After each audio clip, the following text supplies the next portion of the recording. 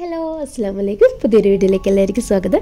ഇന്നത്തെ നമ്മളെ റെസിപ്പി എന്ന് പറയുന്നത് വളരെ വ്യത്യസ്തമായിട്ട് തയ്യാറാക്കി എടുക്കാൻ പറ്റുന്ന ഒരു ഈവനിങ് സ്നാക്കിന്റെ റെസിപ്പിയാണ് അപ്പോൾ അതെങ്ങനെ ചെയ്തെടുക്കാൻ നോക്കാം. വീഡിയോയിലേക്ക് പോകുന്നതിന് മുമ്പ് ചാനൽ ആദ്യമായിട്ട് കാണുന്ന ആരെങ്കിലും ഉണ്ടെങ്കിൽ പ്ലീസ് ഒന്ന് സബ്സ്ക്രൈബ് ചെയ്യാൻ മറക്കല്ലേ? അതുപോലെ നിങ്ങൾക്ക് വീഡിയോ ഇഷ്ടമാണെങ്കിൽ ലൈക്ക് ചെയ്യാനും ഷെയർ ചെയ്യാനും മറക്കല്ലേ കേട്ടോ അപ്പോൾ നമുക്കിതെങ്ങനെ ചെയ്തെടുക്കാമെന്ന് നോക്കാം.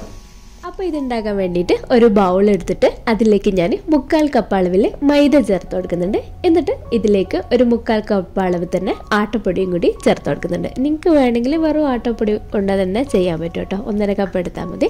എന്നിട്ട് ഞാൻ ഇതിലേക്ക് ആവശ്യത്തിന് ഉപ്പ് ചേർത്ത് കൊടുത്തതിന് ശേഷം ഒന്ന് മിക്സ് ചെയ്തതിന് ശേഷം ഇതിലേക്ക് ഇനി ഞാൻ ചേർത്ത് കൊടുക്കുന്നത് ഒരു ഒരു ടേബിൾ സ്പൂൺ അളവിൽ നല്ല ചൂടുള്ള ബട്ടറാണ് കേട്ടോ ബട്ടർ ഒന്ന് ഉരുക്കിയതാട്ടോ. ചൂടോട് കൂടി തന്നെ ചേർത്തിട്ട് ഒന്ന് മിക്സ് ചെയ്ത് കൊടുക്കാം.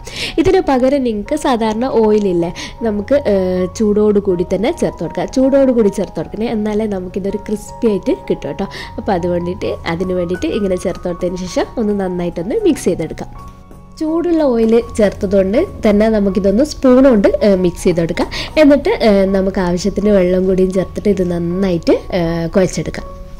അങ്ങനെ കുഴച്ചെടുത്തിട്ട് നമുക്കിത് മാറ്റി വെക്കാം എന്നിട്ട് നമുക്കിതിന് വേണ്ടിയിട്ടുള്ള ഫില്ലിങ്സ് തയ്യാറാക്കിയെടുക്കാം. അപ്പോൾ അതിന് വേണ്ടിയിട്ട് ഞാനൊരു പാൻ അടുപ്പിലേക്ക് വെച്ചിട്ട് അതിലേക്ക് ഒരു രണ്ട് ടേബിൾ സ്പൂൺ ഓയിൽ ചേർത്ത് കൊടുക്കുന്നുണ്ട്. എന്നിട്ട് ഞാൻ ഇതിലേക്ക് രണ്ട് മീഡിയം സൈസ് സവാള കൊത്തിയരിഞ്ഞത് ചേർത്ത് കൊടുക്കുന്നുണ്ട് കേട്ടോ. എന്നിട്ട് ആവശ്യത്തിന് ഉപ്പും കൂടിയും ചേർത്തിട്ട് നന്നായിട്ട് ഇതൊന്ന് വഴറ്റിയെടുക്കാം. ഇനി ഇതിലേക്ക് നമുക്ക് ഒരു കാൽ ടീസ്പൂൺ മഞ്ഞൾപ്പൊടിയും കൂടി ചേർത്ത് കൊടുക്കാം. എന്നിട്ട് നന്നായിട്ട് അതൊന്ന് മിക്സ് ചെയ്തെടുക്കാം. ഇനി നമുക്കിതിലേക്ക് ഒരു ടേബിൾ സ്പൂൺ അളവിൽ ഇഞ്ചി ചെറുതായിട്ട് അരിഞ്ഞത് ചേർത്ത് കൊടുക്കാം.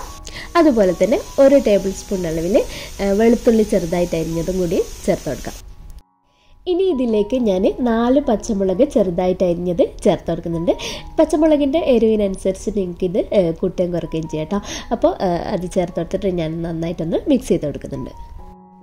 ഇനി എല്ലാം കൂടി നന്നായിട്ടൊന്ന് വയന്ന് വന്നതിന് ശേഷം ഇതിലേക്ക് ഞാൻ ചിക്കൻ ചേർത്ത് കൊടുക്കുന്നുണ്ട് കേട്ടോ.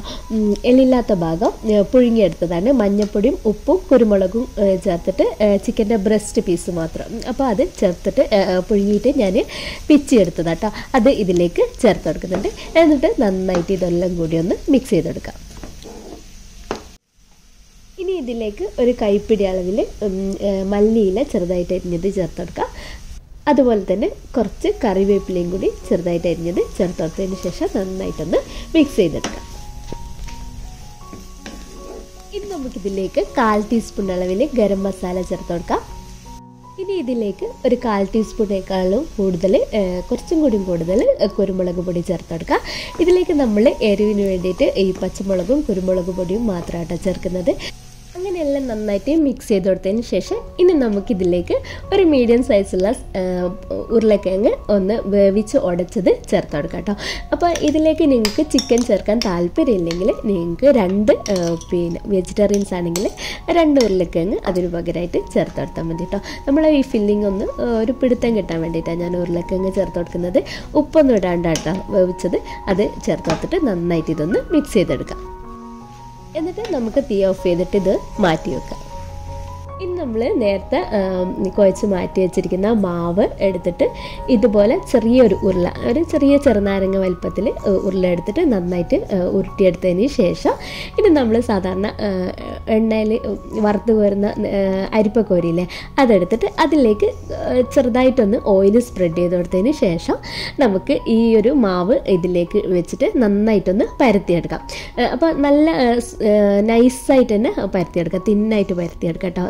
കട്ടി കൂടിപ്പോണ്ട് നന്നായിട്ട് പരത്തിയെടുത്തതിന് ശേഷം ഇനി നമ്മൾ നേരത്തെ തയ്യാറാക്കി വെച്ചിരിക്കുന്ന ഫില്ലിങ് ഒന്ന് ജസ്റ്റ് ഒന്ന് ഉരുളയാക്കിയിട്ട് ഇതുപോലെ നടുവിൽ വെച്ച് കൊടുത്തതിന് ശേഷം ഇതിന്റെ എല്ലാ ഭാഗങ്ങളും ഇങ്ങനെ എടുത്തിട്ട് ഇതേപോലെ എടുത്തിട്ട് ഇങ്ങനെ കൂട്ടി യോജിപ്പിച്ച് കൊടുത്തു കഴിഞ്ഞാൽ നമുക്കൊരു സമൂസന്റെ ഷേപ്പ് കിട്ടും കേട്ടോ. നമ്മൾ പരത്തി ഒന്നും കഷ്ടപ്പെടാണ്ട് തന്നെ നമുക്ക് ഒരു നല്ല അടിപൊളി ഡിസൈനോട് കൂടിയിട്ടുള്ള സമൂസ കിട്ടിയിട്ടുണ്ട് കേട്ടോ.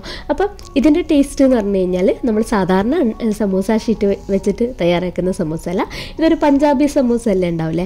ആ ഒരു ടെക്സ്ചർ ആട്ടോ ഇതിനുണ്ടാവുക എന്നിട്ട് എല്ലാം ഇങ്ങനെ ചെയ്ത് കൊടുത്തതിന് ശേഷം നമുക്കൊരു പാന് അടുപ്പിലേക്ക് വെച്ചിട്ട് അതിലേക്ക് ഓയിൽ ചേർത്ത് കൊടുക്കാം ഓയിലൊന്ന് ചൂടായി വരുന്ന സമയത്ത് നമ്മൾ തയ്യാറാക്കി വെച്ചിരിക്കുന്ന സമൂസകളെല്ലാം ഇതുപോലെ തന്നെ അതിലേക്ക് ഇട്ട് കൊടുക്കാം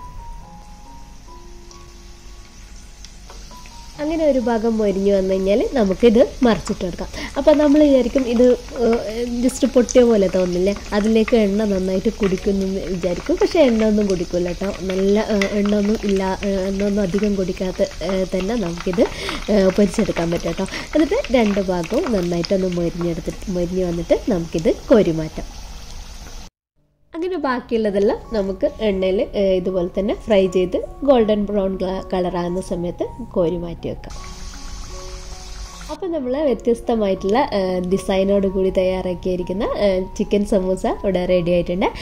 നല്ല ചൂടോട് കൂടി കഴിക്കാൻ നല്ല ക്രിസ്പി ആട്ടോ. അപ്പം നമ്മൾ സാധാരണ സമൂസേന്റെ ആ ഒരു ടെക്സ്ചറല്ല ഒരു പഞ്ചാബി സമൂസേന്റെ ടെക്സ്ചറാണ് അപ്പോൾ ടൊമാറ്റോ കച്ചപ്പിന്റെ കൂടെ നല്ല കോമ്പിനേഷൻ ആട്ടോ. അപ്പോൾ എന്തായാലും ട്രൈ ചെയ്തൊക്കെ വീഡിയോ ഇഷ്ടമായിട്ടുണ്ടെങ്കിൽ ലൈക്ക് ചെയ്യാനും ഷെയർ ചെയ്യാനും മറക്കല്ല അടുത്തൊരു വീഡിയോയിൽ കാണാം. അതുവരെയൊക്കെ ബൈ